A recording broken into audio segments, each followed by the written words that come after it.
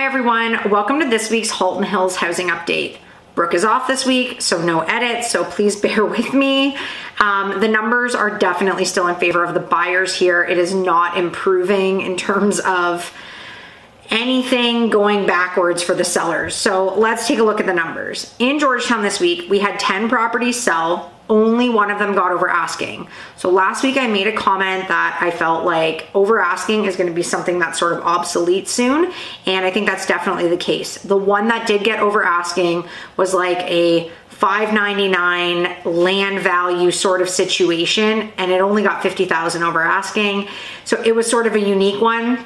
So when we really look at it, the regular resale properties last week, none of them got over asking. Interestingly, there was 24 new listings in Georgetown last week. So a huge amount of new listings coming on the market, but the sales just are not picking up. In Acton last week, we had five sales, which is actually a very good number for Acton. I mean, there was quite a bit of stuff available, and we only had one new listing. So Acton is really the only market last week that had sort of a good week, um, but it was um, still not the craziness that we should be seeing with this much inventory available. Glen Williams had no sales and two new listings. Limehouse had no sales and one new listing. The rural market saw one sale and three new listings. So overall last week in all of Halton Hills, we only had 16 sales. In the peak of the market, we were seeing 35 to 40. So given the fact that we have tons of stuff to buy and we're only sitting around 16 sales is not great. So now looking at active inventory, I decided to do something interesting this week. I was like, I wonder where it was the first week of January. Because obviously, if you watch these, you know how far we have come in the last six months. But I was just like, let's have a look. So I'm gonna do a little, this is where it's at now, and this is where it was on my January 4th update. So this week, all of Halton Hills is up to 188 active listings. We are pushing very close to that 200 mark. On January 4th, there was 29 active listings. So it just shows the change we've seen. Almost 200 and we were at 29, so that's pretty crazy. Georgetown this week is up to 126 active listings.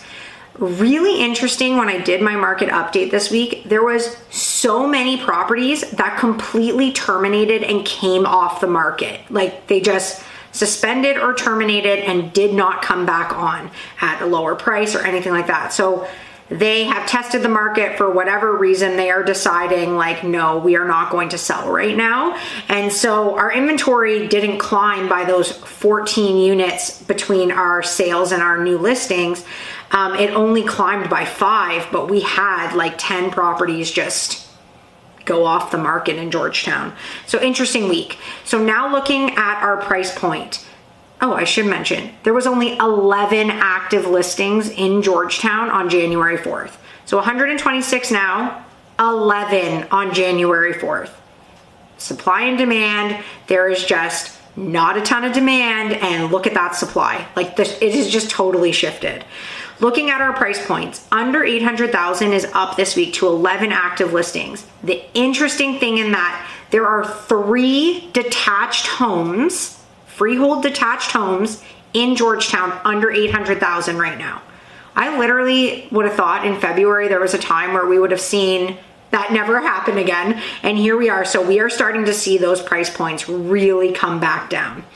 800 to a million is the one that jumped the highest this week. So it went from 28 to 34 active listings really high number in that price point. Um, lots of stuff that again was over that million mark is coming down to that 950 to 999. Tons of stuff at 999 right now.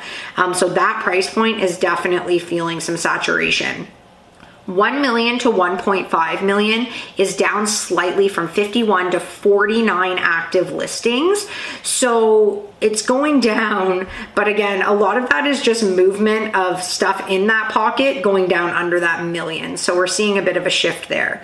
And then a million, sorry, 1.5 plus is up from, no, it's down. It's down from 33 to 32 active listings this week. So not a major jump, but still a lot of stuff available in that price point.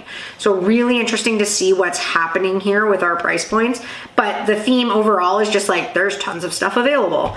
So now looking at Acton.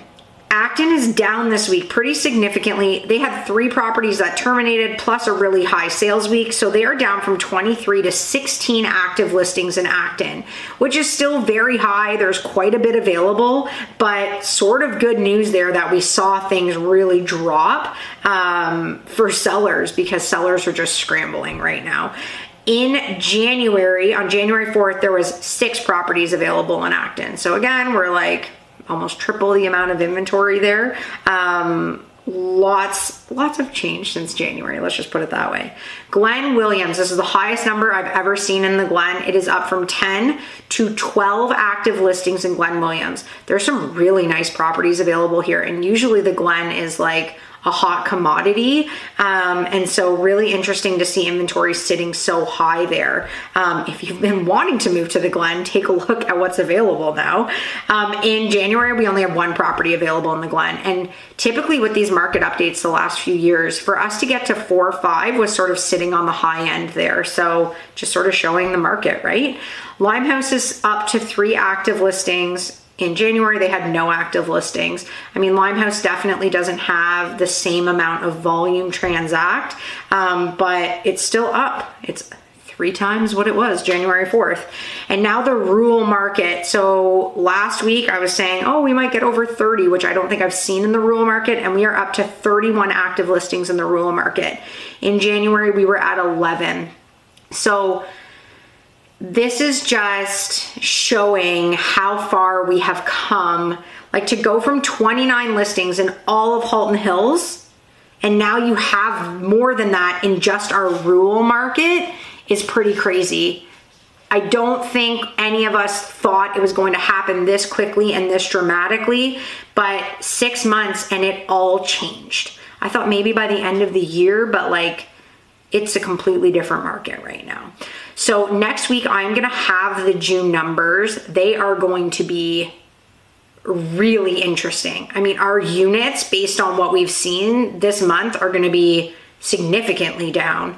But I am ex- not excited. I'm just really interested to see what the price points are gonna be like Again, in comparison to May, I still know that we are up significantly from last year, but it's still just really interesting to see when you analyze these numbers how this is all playing out. So I will be back next Tuesday. Have a great week, everyone.